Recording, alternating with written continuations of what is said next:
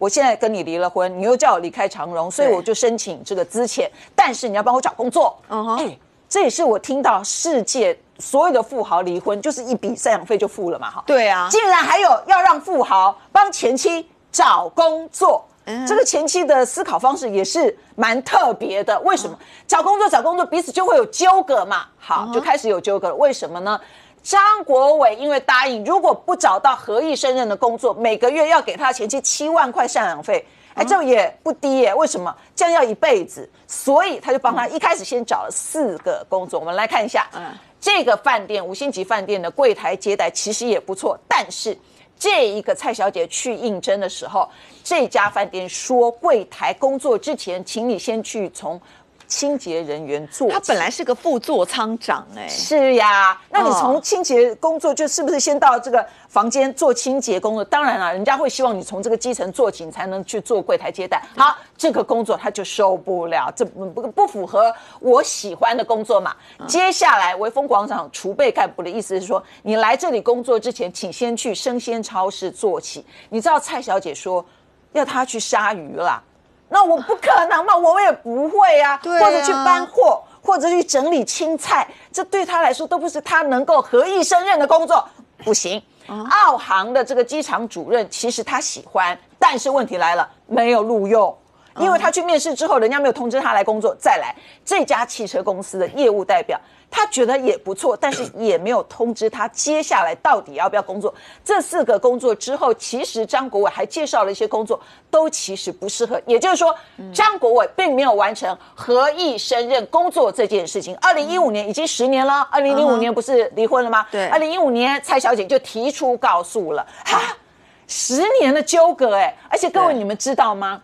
张国伟已经再婚，孩子都不小了。对那其实这个蔡小姐她也有家庭了。这十年当中，他们都有各自不同的人生了。那这个官司打下去之后呢，很妙了，因为观众朋友一定好奇说，法官要怎么判？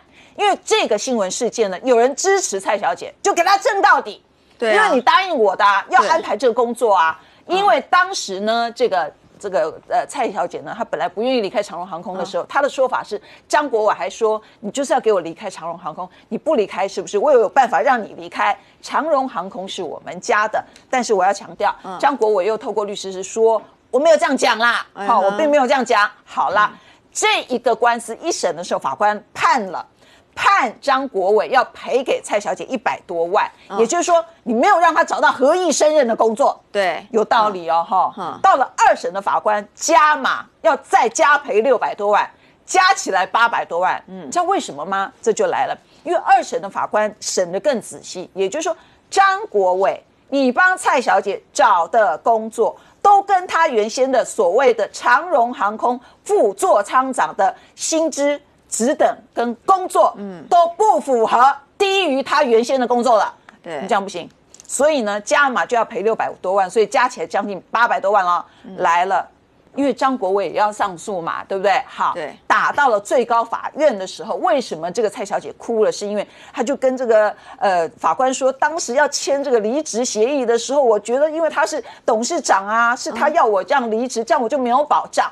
但是呢，这个最高法院的法官就讲了一件事，他说：“哎，这个蔡小姐，你当时希望你的前夫帮你找工作是基于什么？